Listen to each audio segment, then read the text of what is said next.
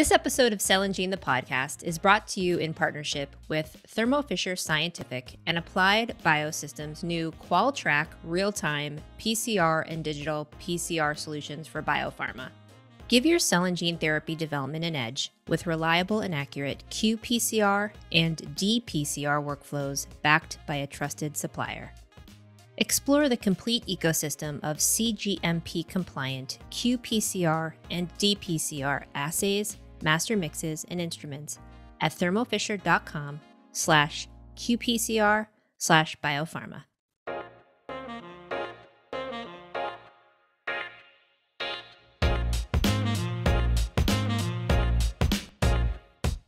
Hello, listeners, and welcome to this episode of Cell and Gene, the podcast. I'm your host, Erin Harris, and my very special guest for today's episode is Dr. Carl June. Dr. June is the Richard W. Vague Professor in Immunotherapy in the Department of Pathology and Laboratory Medicine in the University of Pennsylvania's Perelman School of Medicine and Director of the Center for Cellular Immunotherapies in the Abramson Cancer Center and Director of the Parker Institute for Cancer Immunotherapy at Penn. He is an HIV gene therapy pioneer and is often referred to as the father of CAR T cell therapy, and for good reason. In 2012, he helped treat Emily Whitehead, whom we will discuss in just a minute, uh, as the first child to receive CAR T cell therapy on an experimental basis. The therapy put Emily's ALL into remission, and since then, there have been three FDA approved uses of these living drugs, which have helped thousands of patients across the globe. Time magazine included Dr. June in the 2018 Time 100, its annual list of the 100 most influential people in the world. And most recently, the Tribeca Film Festival debuted the documentary of Medicine and Miracles about the journey of Dr. June and a team of doctors, along with Emily Whitehead and her family, who came together on the leading edge of a cancer cure. And so it, it is my honor to welcome Cell, to Cell and Gene, the podcast, Dr. Carl June. Dr. June, I can't tell you how happy I am to have you on the podcast. Well, thanks very much, Erin. That's really great to uh, to meet you. Absolutely. So let's jump right in. So the groundwork for immunotherapy began in 2003 with the mapping of the human genome. And you're one of the pioneers of CAR T cell therapy, and a lot has happened since 2003, including the FDA approvals. And we'll unpack that as we, we kind of go on here. But today, especially at Penn, you know, we have world leading researchers who are developing new immunotherapies to treat cancer, but also other diseases that include Parkinson's, Alzheimer's, infectious diseases, you name it. What I really want to talk to you about, though, from, from an immunotherapy perspective, talk to us about what you and your team specifically are currently working on and researching at Penn. Well, uh, well thanks. So, um, you know, at this point, as you mentioned, I mean, we treated Emily Whitehead. The first FDA approval for that was about five years ago in 2017, and and so now we have a 10 year perspective since when we treated her, which was 2012. Um, and, um, and the field has had tremendous progress. There's now uh, of commercially approved CAR T cells in the United States, six different indications between um, uh, Kite Gilead and Novartis, and, and, it's and then now Bristol Myers mm-hmm. in the last year has had a huge advance with the approval of CAR T cells uh, for myeloma, the most common blood cancer. So it's really uh, a, a rapid progress. And, um, our, you know, my main interest now really is extending it beyond blood cancer. I think there's, there are now hundreds of trials around the world uh, testing CAR T cells in, in, nearly every cancer you could think of. Mm-hmm. And, um, and the major scientific uh, challenge right now is, is how we can make these cell therapies that work very well in blood cancer. How can we make them work in uh, solid cancers, right. the, the, more common tumors? Okay. Uh, and how, bring us up to speed a little bit on what you're doing in that regard with the work so, for solid tumors.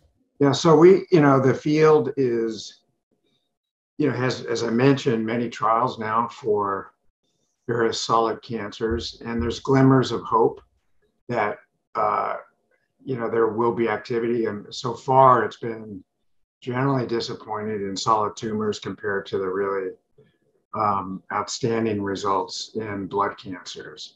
And so research is showing the mechanisms of resistance in solid tumors. Um, and there are glimmers of hope, uh, as I mentioned briefly. So, in, for instance, pediatric brain cancer, a paper was published in Nature this year from uh, a group at Stanford. And so, in a small number of patients, in what is a uniformly lethal brain cancer in, in children, where there's literally really almost no therapy um, once a diagnosis is made, they're now extending uh, the lifespan of these children with CAR T cell infusions. So that's that's promising um, because you know it's a solid tumor and it's in the brain, which is traditionally um, you know difficult to treat with immunotherapy. And um, we've seen at other groups now have reported uh, responses in prostate cancer, uh, the most common cause of uh, cancer in men, and and uh, that.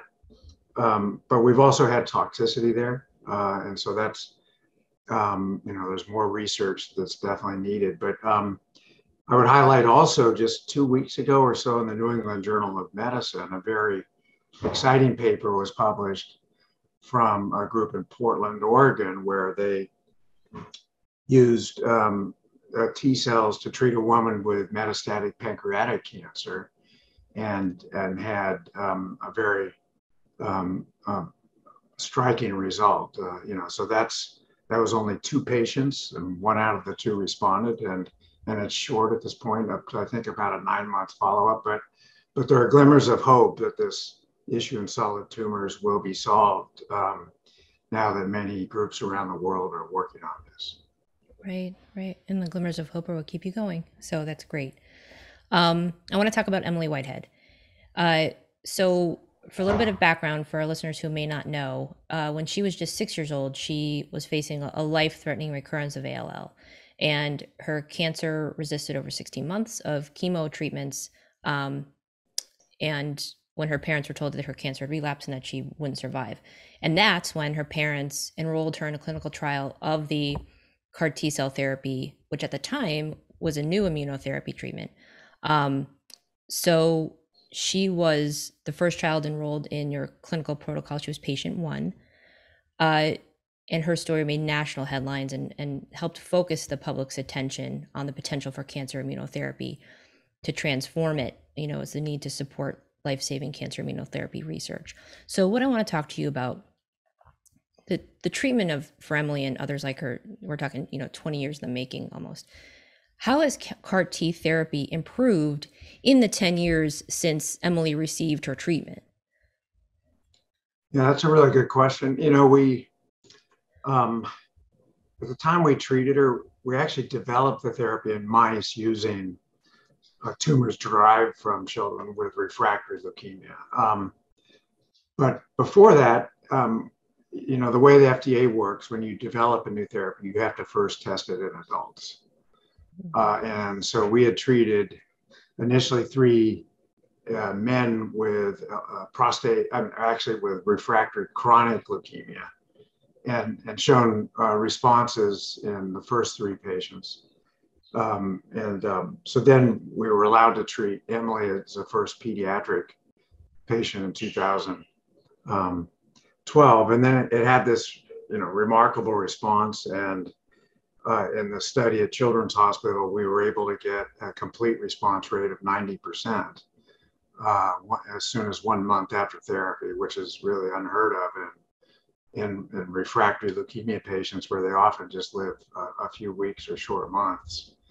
Um, so since then, you know, that then went on to an international trial um, when treating Emily uh, that, you know, led to FDA approval in August of 2017.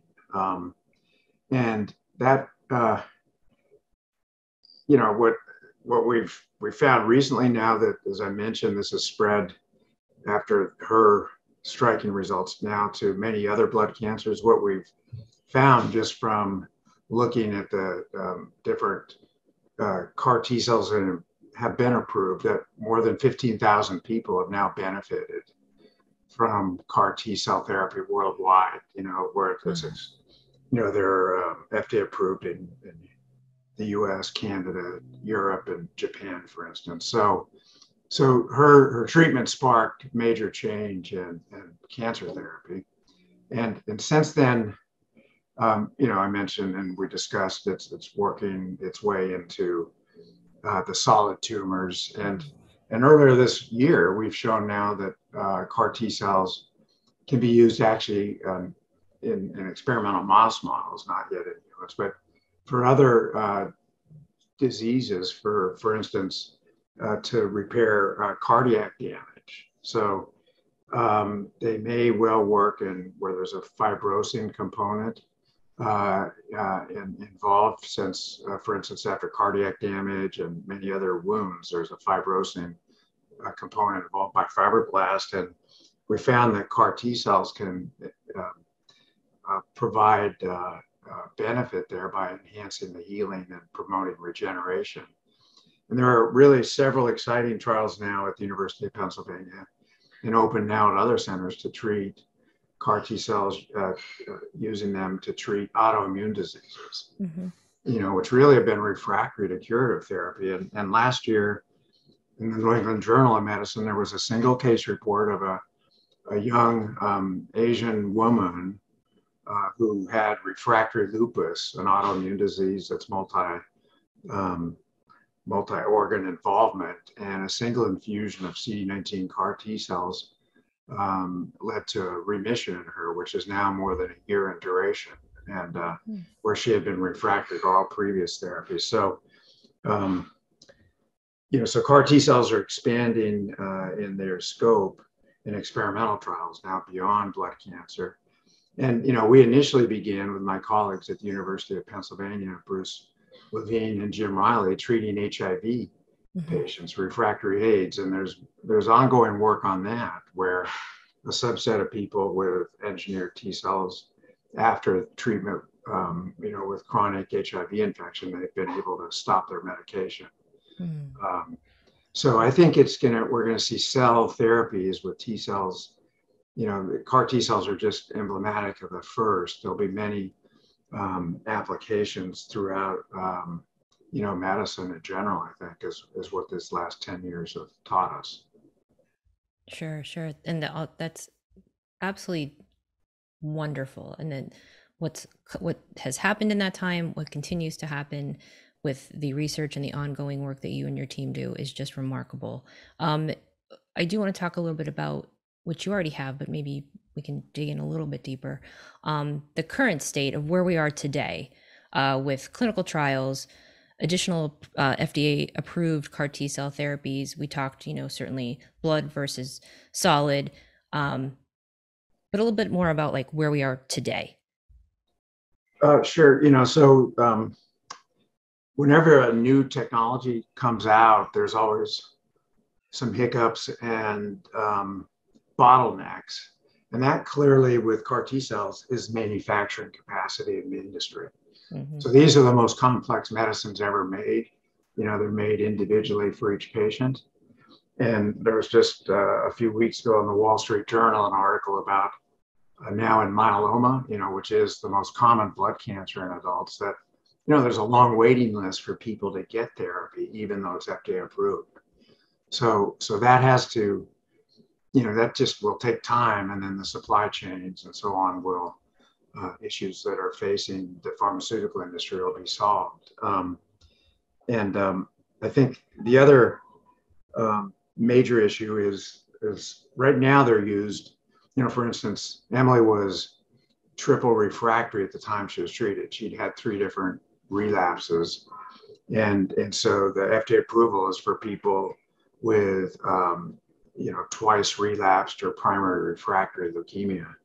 There are trials now to try to, you know, move this up front um, and to minimize the amount of chemotherapy that people get. And that's, I think, a very exciting prospect uh, where the immunotherapy could be used um, uh, rather than as a salvage therapy, which is how it's been first, at, you know, approved by the FDA. Could it be moved more up front?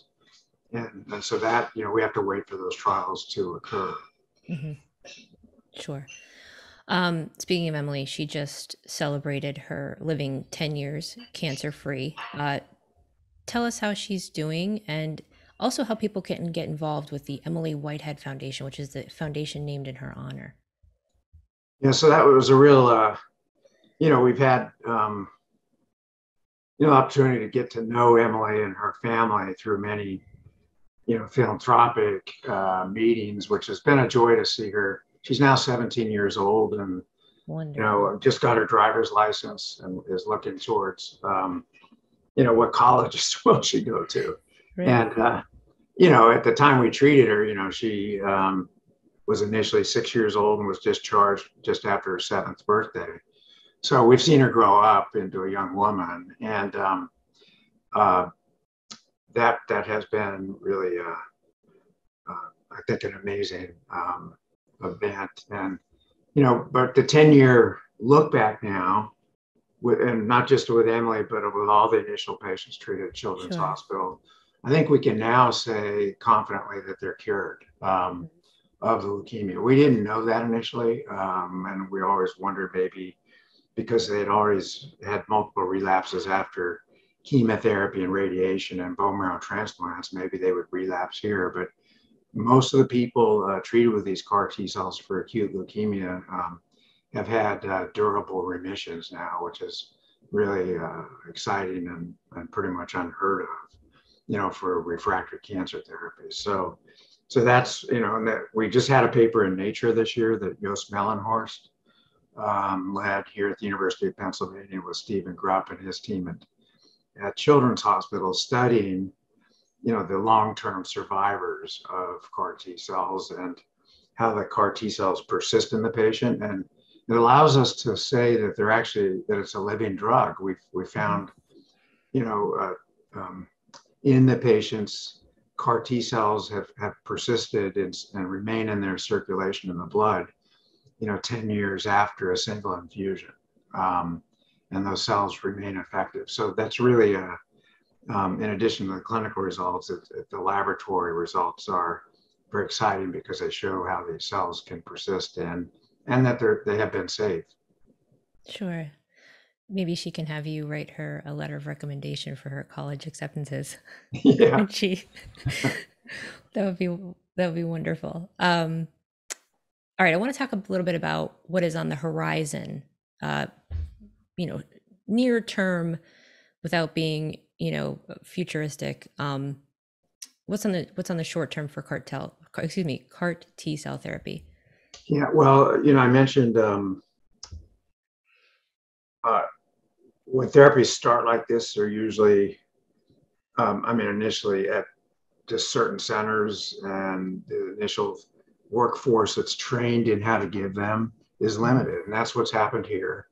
Uh, bone marrow transplantation started in the early 1980s, and it took about 15 years to become available at all, nearly all medical centers, both rural and in you know major um, cancer centers. And so right now there's this uh, we need to wait time for the workforce to be trained. You know medical when most physicians were in medical school they you know never heard of immunotherapy. They weren't taught anything and to, and to say nothing of you know the of car t cells. So so now it's spreading you know as as people get um, learn about it the physicians the clinical teams nurses uh, it's all they have to learn about that as well as the patients so one of our goals is to spread this out from major medical centers into uh, rural centers. And um, uh, last month, um, in a larger effort, you know, um, we actually uh, went to Costa Rica, and over the last five years, we've worked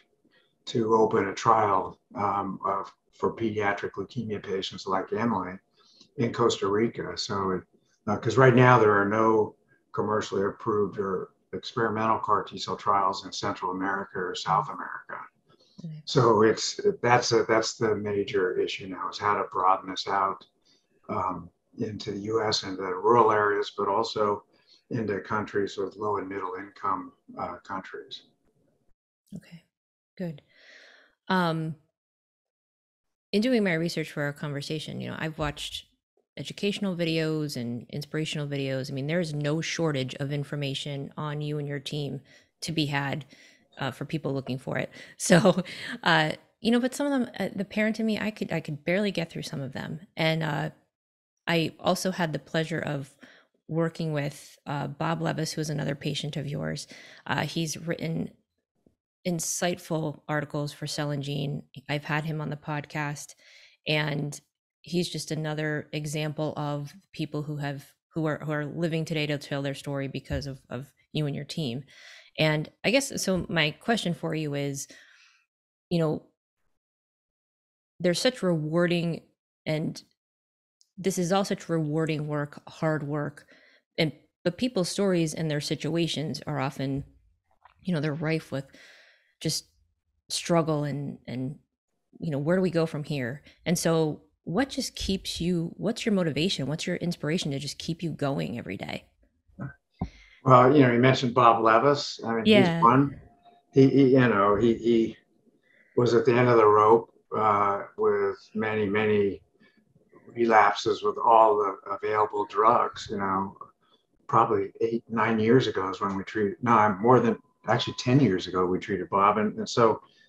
Uh, and the very, very first patient we had treated, who was Bill Ludwig, had already made his funeral arrangements. You know, so we've seen many of these Lazarus cases, you know, from uh, you know older people with leukemia and lymphoma, and then now and then children where their parents had given up hope because there was no therapy working. So, um, you know, it's a huge uh, um, privilege for me to see that. That's what keeps me going and, and my team. I mean, we've seen, and we have pictures of, uh, you know, many of the patients, the uh, pioneers, they were brave. We, we had no idea what would happen when we treated initially Bill Ludwig and, you know, Bob Levis was, was about the top our first 10 patients we treated, we had no idea what would happen. All we treated was a few mice. Mm-hmm. And then, um, um, and then similarly for, for when Emily Whitehead, I mean, she got very ill at the time we treated her with cytokine release syndrome. She had 106 degree fever for three days. Oh my God. She was on multi-organ failure. Um, so we've learned a lot and uh, how to control that and I'm really grateful for the patients, you know, that have been heroic uh, to volunteer for experimental therapists. As I mentioned, I mean, that initial success with Emily Whitehead now has, has led to 15,000 people being treated with CAR T cells. Right, right. Wow, it's such inspirational work, and, and they're equally as happy for you and your team as you are for them. So I'm sure I speak on their behalf. Um, we've come to kind of the formal a conclusion of our the, the formal end of our podcast, but at the end of every Cell and Gene the uh, Cell and Gene the podcast episode, I ask my guests just a few questions to get to know who they are outside of the office and the lab. And so, my first, I have two for you. Uh, everybody else normally gets one. You get two. the first one is, uh, what do you like to do during the summertime? What are some of your favorite summertime activities when you're not on Penn's campus?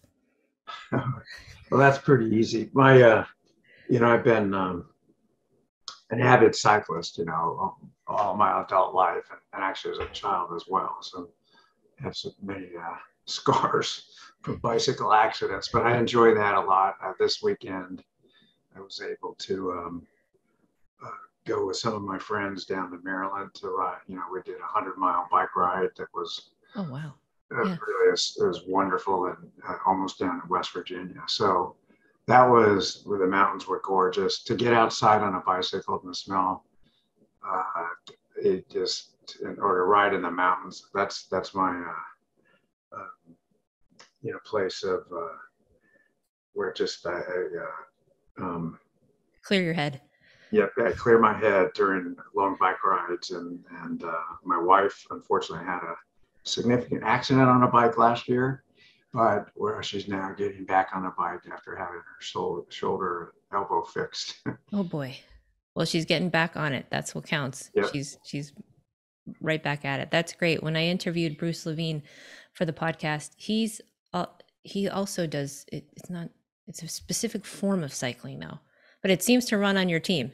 That seems to be. Does, yeah. uh, so my last question for you is um, so you're interviewed extensively by people like me you're invited to speak on panels uh, across the globe to provide your insight. And you talk to patients and their family families you know regularly. And so really my question so so people ask you questions all the time. You're inundated with questions. What is the one thing you wish people would ask you? And what's the answer to that question? Yeah i don't know. I think um uh, you know i've, I've said on a, uh, a ted talk that i had you know luck in, is involved in some um, of, of what our team has done. I mean, the right timing. I mean, if you see the movie, and I, I hope the viewers get a chance to see the movie of Medicine and Miracles, it was at Tribeca that you mentioned, you know, mentioned in the um, opening, and that that movie shows many different aspects of just plain luck, that uh, timing of when things happened, uh, that led you know, to our being able to infuse Emily and then the fact that she survived it and and now that many other people can benefit. So um, why why did that happen? And I, I wish I knew. Um, you know, when I, I grew up, I didn't have any thought that I would go into medical research. I thought I would be an engineer like my father. Hmm. So, um, and then just things like the Vietnam War made and, and other things that I never would have planned on led me into, a, you know, going to medical school. So uh, anyway, um, I think people need to take, um, you know, the younger people starting in their careers. Uh, you really have no idea, I think, what you'll end up doing. You know, you need to have patience to find what you want and enjoy to do, what your calling seems to be, and then uh, to really pursue it. And I'll just say when I was young, I had no idea that I would end up doing medical research. Well, Dr. June, I think I speak for everyone who's listening to this podcast that we sure are glad you did. So that's wonderful. Um, well, listeners, that brings us to the end of our podcast and this episode featuring Dr. Carl June. Dr. June, this has been a pleasure. Thank you so much for your time and insight today. Uh, well, thanks very much, Erin. It was a, a real pleasure on my side. Bye. Good. Listeners, visit please visit cellandgene.com to sign up for our newsletter and to read our editorial crafted specifically for professionals just like you. Talk to you soon.